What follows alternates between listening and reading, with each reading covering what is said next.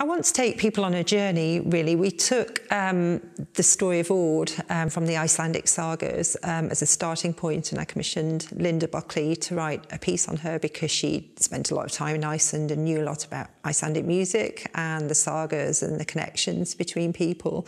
I was really kind of fascinated to find out um, whether we could trace the line of really through um, Orkney um, and into her descendants. Um, and not only that, but we can actually trace that line through across into the Orkneyinga saga and ultimately through to St Magnus. And I just think it's, it's actually fascinating that we can follow these journeys. I'm Linda Buckley and I'm an Irish composer and my piece is called Aud um, and I, I, think with Aud, I really connected with the sense of um, strength and resilience um, from her journeying, um, from her bravery, from her also um, courage through times of grief. Um, there was a lot of loss in her life, a lot of sadness, but she really overcame this and kind of triumphed in the world and sort of became one of the, the most respected women in Iceland.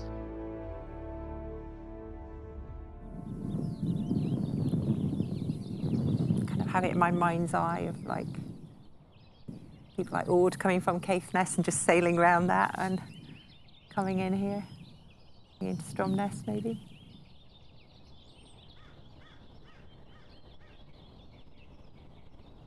Wonder what made her go and travel on. There's a lot of different theories about that. I mean, yeah. I think she had always intended to eventually go up to Iceland. Mm-hmm. I'm not sure about the timing of why she she went when she did. Mm. Maybe she just felt she had her business was done here and she could move northwards. Mm. Did you say it was it was a legend that her boat was sort of secret in Caithness?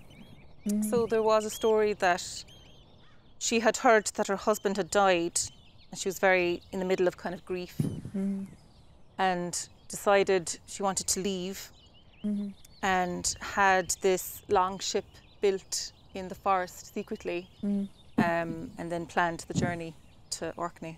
Mm-hmm. Um, but nobody knows why it was so secretive, mm-hmm. really. She just, I think she just had this little plan and kind of wanted to mm-hmm. um, make sure it would come to fruition without telling everybody, maybe. Yeah, or maybe because she was female and people might not have thought she could do it. Also, yeah, yeah. I think that's a big part Possibly. of it. Yeah. And then she sailed on her own? She had a crew with her, um, and the crew went up to Iceland. Yeah, Breiðafjord. Mm-hmm, that's right. And I wonder how old she was because I mean, well, I think they reckon she was probably about 50 when she died. But I mean, that was old then, then. It was old, but also, you know, I think from what you gather, she did quite a bit in Iceland after that time. So I reckon she must have been pretty young when she made that voyage. Mm. I suppose I was interested in that in the piece, that sense of kind of journeying mm-hmm. but also landing. So mm-hmm. there's sort of you can maybe hear that in the music that there's sort of landing mm-hmm. points and journeying again, yeah. landing points. Yeah. Um, and a sense of return and a sense of restlessness, but a sense of peace at times as well that mm-hmm. gets erupted, you know. So.